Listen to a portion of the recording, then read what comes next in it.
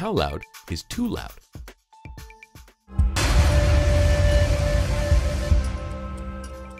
As we're sure you've heard from numerous lectures and safety guidelines, the human ear can only withstand so much sound before it breaks.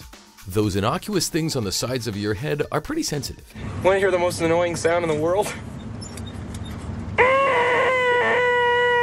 Hearing issues like deafness and tinnitus are perhaps surprisingly common problems for people all over the world.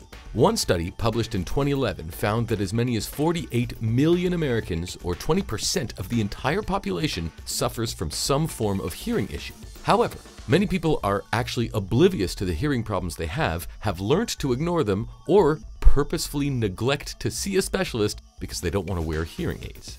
Some hearing issues are biological, but they can also be self-made and avoidable. Things like working in a loud environment without ear protection, attending one too many rock concerts, or even simply listening to music through headphones on too high a volume can cause irreversible harm. But what are the extremes? And how loud is too loud? What's the line between acceptable, natural, and practical sound levels and unnatural, deafening, damaging noise?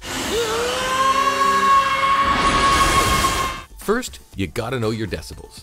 As the unit of measurement used to determine the loudness of a given action or object, decibels are a record of the pressure from any particular sound wave. There's some heavy science behind these things, but what's important for today's question is that higher decibel readings equate to greater sound pressure. In other words, the higher the decibel number, the louder and potentially more destructive the sound is. For example, a watch ticking at 20 decibels is louder than leaves rustling at 10. A conversation at 40 decibels is much louder than the watch ticking at 20, and so on. But while the science behind sound readings is objective, loudness is a subjective, relative experience.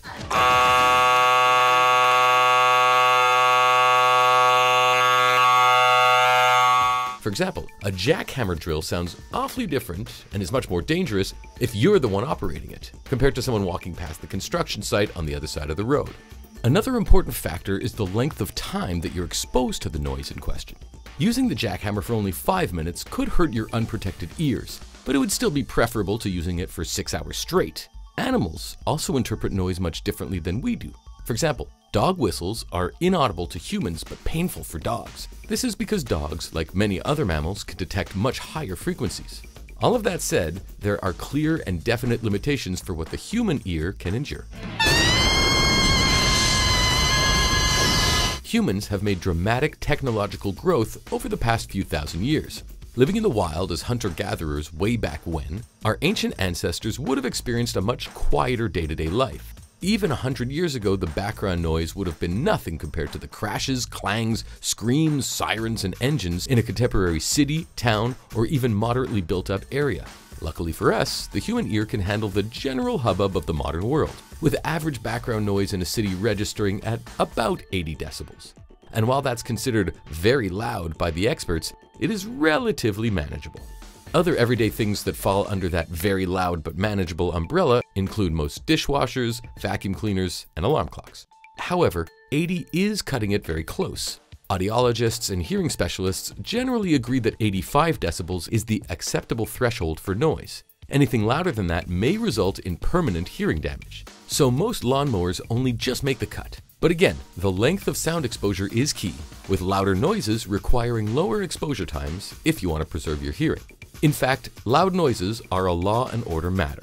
The Ontario Ministry of Labour states that the maximum exposure time for a noise level of 85 decibels is 8 hours. Similarly, US legislation says that workers shouldn't experience 90 decibels for any more than 8 hours at a time. So legally speaking, we might say that anything over 90 is too loud. But biologically speaking, mm, we can handle more. Whoa, Ed, that's really loud! Push the decibels up to 100 for a chainsaw, or an especially lively nightclub. At 110, you start hitting rock concert levels of noise, especially if you stood by the speakers. And right about now, your recommended exposure time plummets to just one and a half minutes.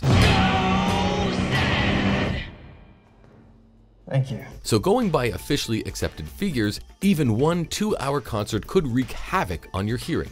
General warning signs of dangerous noise levels include the inability to hear someone standing two feet away from you yelling to be heard, and muffled sounds long after leaving the noisy area. And if you've ever been to a rock gig, you'll likely recognize all of those. But of course, there are louder things on this earth than simply watching your favorite band, and you'd still be unlucky to pick up a lasting problem while listening to live music.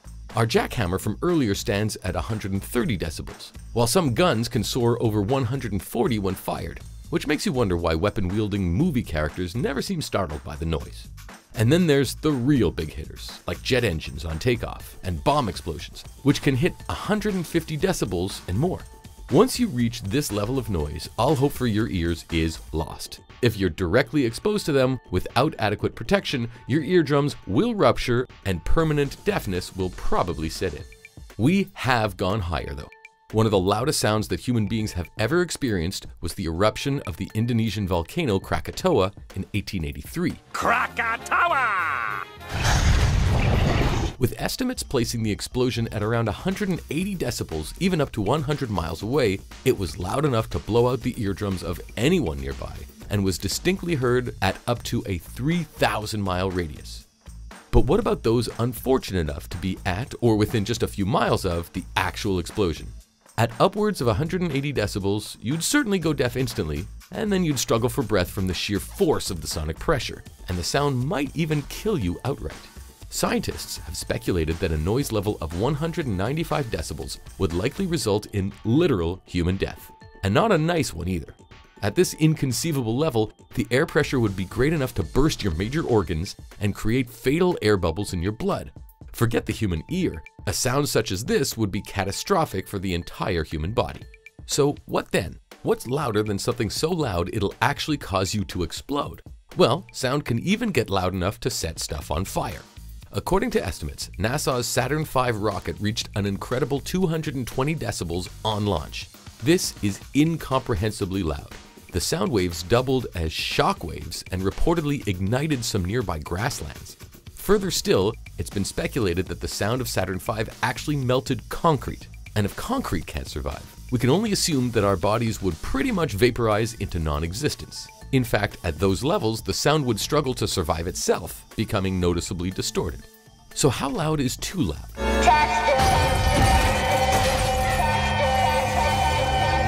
Anything that's 85 decibels if you're going by governmental guidance. A rock concert if you're an avid but anxious music fan or 150 decibel noise if burst eardrums are your personal cutoff point.